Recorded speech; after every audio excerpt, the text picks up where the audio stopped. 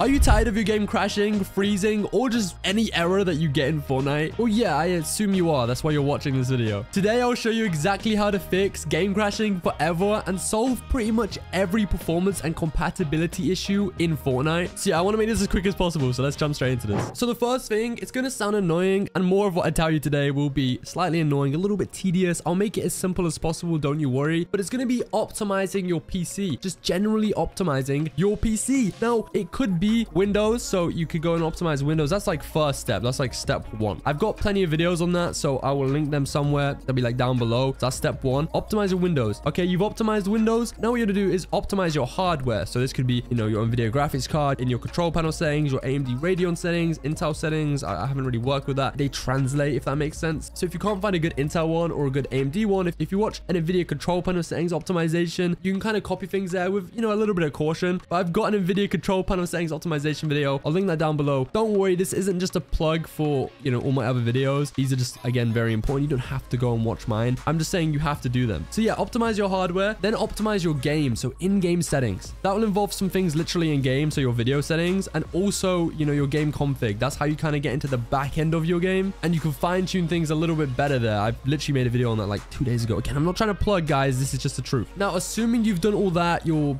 whole PC is optimized, your game is optimized, your launcher options are all good. There's no, you know, issues there. And you're still getting crashes. It's really hard to get to the root cause. All right, listen up, guys. You know how much I've spent on my Fortnite account, and I know how much you hate dealing with overpriced game currency and sketchy exchanges. We've all had our fair share of horror stories, but I finally found the site I can trust. It's called Eldorado. Eldorado has completely changed the game for me. Every transaction on here is secure, so there's zero stress about being scammed. Plus, they have something called Eldorado Trade Shield Protection, which means they've got your back every step of the way. I know we all want the best currency rates, and with Eldorado, I get my game currency fast, like in just a few minutes fast. They seriously have some of the lowest prices I've seen, and I'm saving a ton compared to other places. And when it comes to in-game cosmetics, same deal. They've got everything you need to deck out your locker. And I'm not the only one talking about this. Check out these Trustpilot reviews. Thousands of gamers just like me are giving Eldorado top marks. It's legit. Their support team online 24-7. If you ever need help, it could be 3 a.m. They're ready to answer any questions and have got a money back guarantee, so it's pretty much risk-free. Either you get your order or you get your money back. Simple as that. So if you're tired of overpriced game currency and want a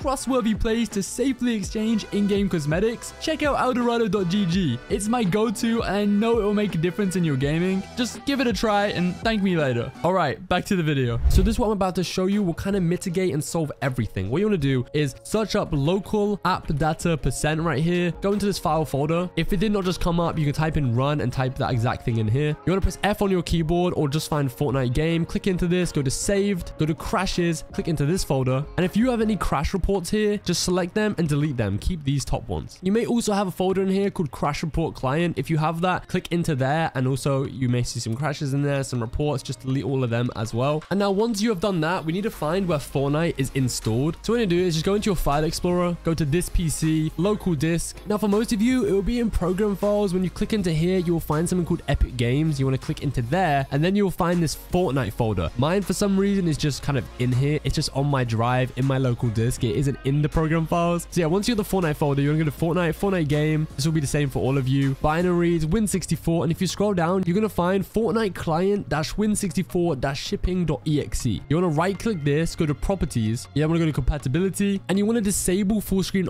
optimizations and run this program as administrator. You can also do change setting for all users. This is very important because sometimes it will not do that and you know you haven't got the admin account and it will I don't know it will mess up. So what you can do is click into this, change it for all users and you want to run this program as administrator, disable full screen optimization. Same thing, just press apply, press apply here and now try to launch your game. If you're still getting an error code or an issue, what you'll need to do is open up your Epic Games launcher, click these three dots here, go to manage and where it says verify files, you want to verify. Now if you're still getting issues, your game is still crashing or if you want to just make like 100% sure that you never crash again and you don't even want to test it, you now want to go back into here, right click this, go to properties and go back to compatibility. And in this case, turn off the run this program as administrator. So just turn off that. If you changed it here as well, turn it off. Mine's already turned off. And if you now launch your game, it should be all good. But if it is not, very, very annoying, I know. You want to go to easy anti-cheat. It's in the same file folder. So right at the top, easy anti-cheat. You want to click into the easy anti-cheat EOS setup and repair repair download. So it should say like a repair installation or repair download. Click that and this will fix your anti-cheat, which could be causing some compatibility issues. Now, if this has worked for you, you've tested your game, you will have to test your game at this point and you're no longer crashing. You'd think you're all good to go, but actually what you've done is verified your game. It's actually reset your game user config or your game settings. So you'll have to go back in. Maybe some things are on the cloud, they've been stored there and they won't have changed. But for the most part, you will need to optimize your game user settings again, your game config, which I mentioned at the start of the video. So now that video, which I mentioned will actually be kind of useful. You don't have to watch mine. Again, I'm not trying to plug anything. You can go watch any game user settings optimization video. I just know that mine is kind of, you know, vetted. I know it's safe. I know it works. It's tested. In fact, in my Discord server, this guy literally said today, he said, yo, thanks so much. It looks like bubble wrap builds and it's so smooth. So it worked for him. And now for anyone who is still stuck, none of this has worked. First of all, you're very unlucky. I'm so, so sorry. But now what you want to do is resort to Epic Games resources. Yes, they have official resources for this. They don't cover everything, everything I've previously mentioned. Although it did not work for you, unfortunately, you've got a bigger fish to fry. They don't mention that. They were exclusive tips and they've hopefully helped quite a few people, but it's their game and they know best from like a basic understanding. I don't want to undermine them, but anyway. But yeah, they have a troubleshooting kind of page, which kind of gives some tips. I'm going to link that down below. Go and check that out. And there also is technical support there. You can resort to that. But the first thing they recommend for these persistent crashes, persistent issues with your game is updating your drivers. Now that does not happen within Fortnite. That's something you need to do yourself. So these are your hardware drivers. That includes your graphics card, your CPU may have some drivers as well. And these things will make a huge difference. I'm going to leave again a link down below. It's too long of a process to include in this video in particular. So there'll be a link down below, which will give you tutorial. Although it's long to demonstrate and explain, it actually takes like five or 10 minutes and it will probably save your game. Now, if your drivers are up to date, you want to make sure your computer services and processes are all in check. Now, if you did the first steps of this video and actually optimized your PC and watched some of those videos I recommended or just did your own research, you probably wouldn't be in this predicament. It wouldn't be an issue. But yeah, I just want to clarify that if you have loads of services and processes and background applications running, this could throttle your game and actually cause it to crash. So it will freeze and then crash. It's not like this isolated issue. There's things that are causing this. And honestly, any otherwise, it's probably down to your specifications, you know? How good really is your PC? Do you meet the minimum requirements for Fortnite? Now, per Epic Games themselves, they say that you need at least 8 gigabytes of RAM in your system, as well as at least an Intel HD 4000 or AMD Radeon Vega 8, which is incredibly ancient graphics card. I honestly don't think people have PCs that are this, you know, I don't know, I don't want to be disrespectful, but like ancient, they're really old. But honestly, the truth is, even if you have these minimum requirements, yeah, you can open your game, Fortnite will launch, but it may not run well. If you have like, if you're just above these minimum requirements, you have a really low end PC, you probably just need to upgrade. There's only so many optimizations you can do. Yeah, optimizations work, but at some point, yeah, your hardware just will not run Fortnite. And I think at this point, if you still somehow, somehow have a problem, it's a whole nother complex issue. And honestly, I don't know if I can help you. I'm not a professional PC optimizer by any means, but if you hop into my Discord server and ask like particular questions, show me what's going on, I will do the research for you. I'll try my very best to help with the knowledge I already have. I also know some people, so I can maybe ask for you and forward your message. But yeah, I don't want to make any promises. You're probably better going to someone like Zilly or Khorvie who do, I think they sell their services where they will do like kind of look into this stuff and they are like tech experts. So shout out to them. You can check out their YouTube channels. I'll try and link them down below or kind of reach out to them on Twitter or Discord. They have Discord servers. I think that's where kind of they do most of their support stuff for computers. But yeah, you know, definitely don't reach out there if you have, you know, this really low end system and you just meet the minimum requirements. I'm telling you, your issue is the computer. That is the problem.